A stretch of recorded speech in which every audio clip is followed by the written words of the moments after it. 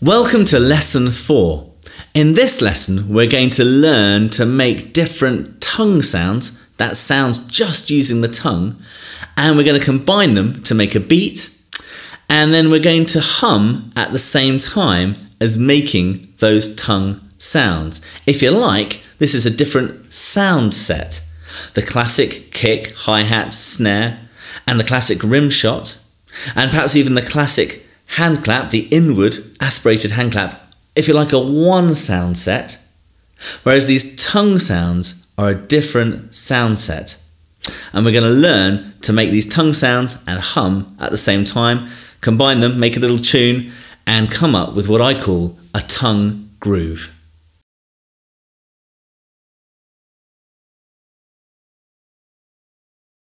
In the very first lesson, I showed you how to make a hi-hat sound or a closed hi-hat sound.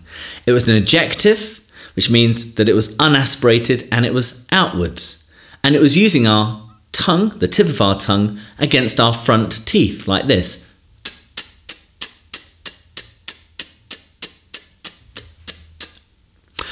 Well, we can vary the hi-hat by moving the tip of our tongue around the inside of our mouth. And the easiest place to place it is against our alveolar ridge. And you can place it anywhere between our, the top of our front teeth and our alveolar ridge. And it changes the timbre of the sound. Against the teeth, it sounds like this. Against the alveolar ridge, it sounds like this.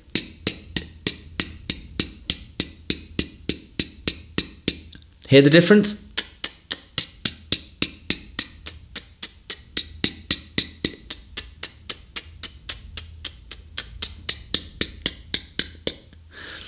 Now, we're going to use that in a moment to create other sounds, including the 808 snare.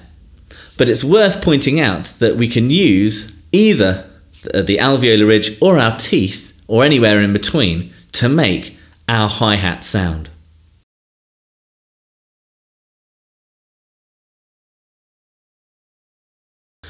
The dry kick is a kick drum sound made just with the tongue, and it's simply a duh sound.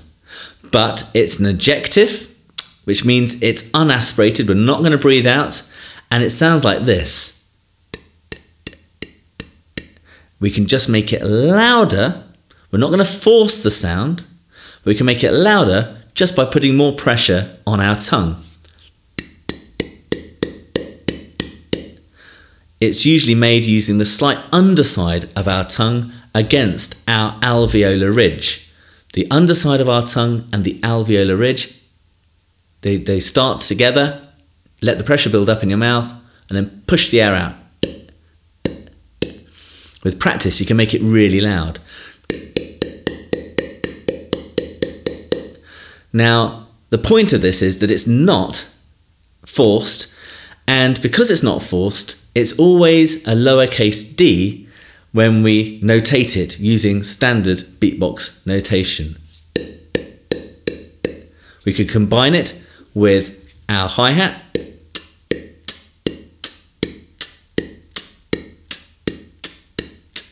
and there we have two sounds made with the tongue that are very different.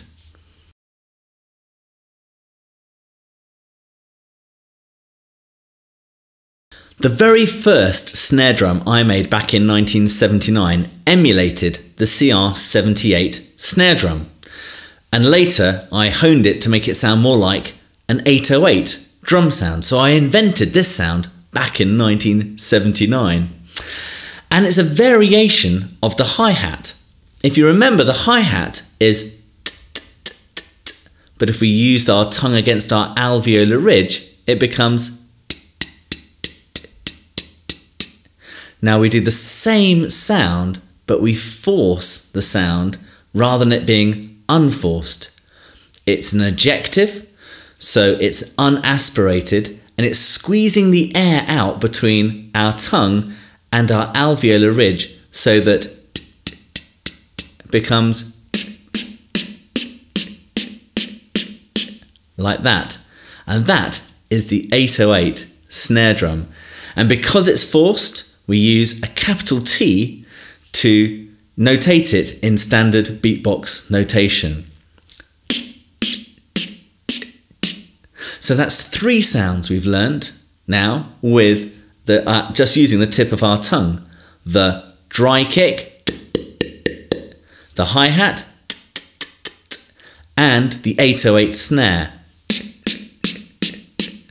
Don't worry if it takes time to learn how to make that sound. It's a sound that we most people don't make in English. It's not a sound we use very often. We don't go around going uh, tennis like that when we want to say the letter T, but it's it's forcing the air out between a very small gap between the tip of our tongue and the alveolar ridge.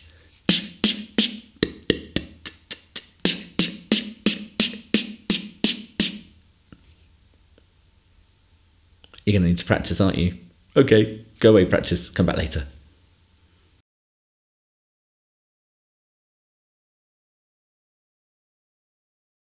Now you have already learned how we can combine plosives with fricatives.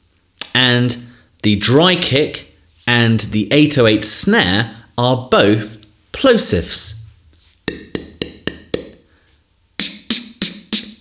They're both plosives. And because they're both plosives, we can combine those with fricatives to make new sounds. First, we're going to combine the dry kick with the S fricative. And remember, this is an ejective, it's unaspirated, and it's outwards, and it sounds like this. Hear that? You could combine the dry kick with other fricatives too, but for now, we're just going to combine it with the S. And S becomes Have a go.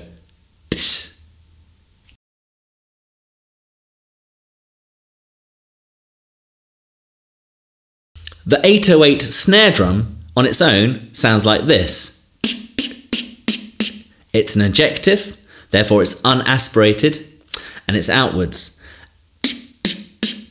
It sounds quite good on its own, but we can also use the 808 snare combined with a fricative to make more interesting snare drum sounds.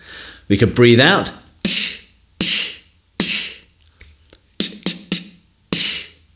We can combine it with an F. We can combine it with and we can combine it with s.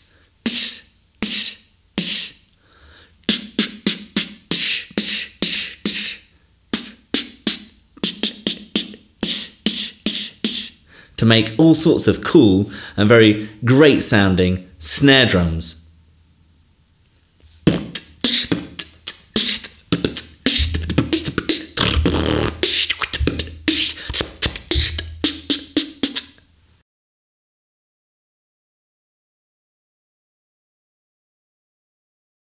We are now going to combine our dry kick, our hi-hat and our 808 snare drum into a simple 8 beat. We're going to use the variation of the dry kick where it's combined with the S fricative so it sounds like and we're going to use our snare drum, our 808 snare drum with the F fricative so it becomes the beat is very simple. It goes like this.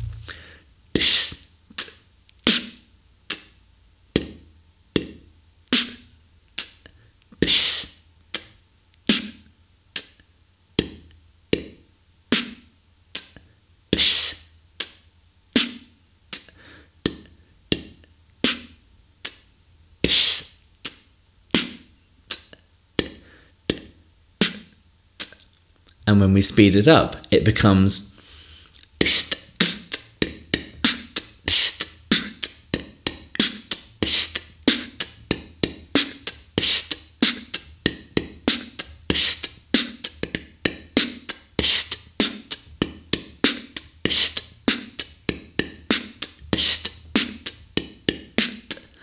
like that.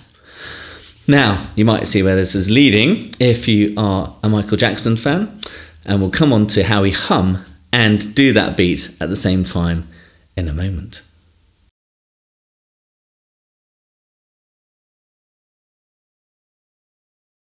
Now, when we do tongue grooves with a microphone, we hold the microphone in a slightly different way.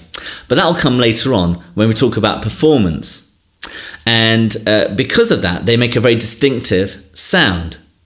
But one of the beauties of tongue grooves is that you can hum at the same time as all the sounds. You can hum at the same time as the kick drum, you can hum at the same time as the hi hat, and you can hum at the same time as the 808 snare drum. Like this. You can hum at the hi hat, and you can hum with the snare drum, like that. So, which means you can hum a tune whilst doing the beat. We'll use the beat that we've just learned.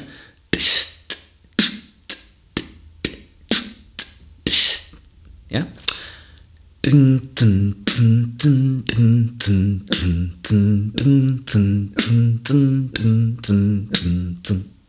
we can hum at the same time.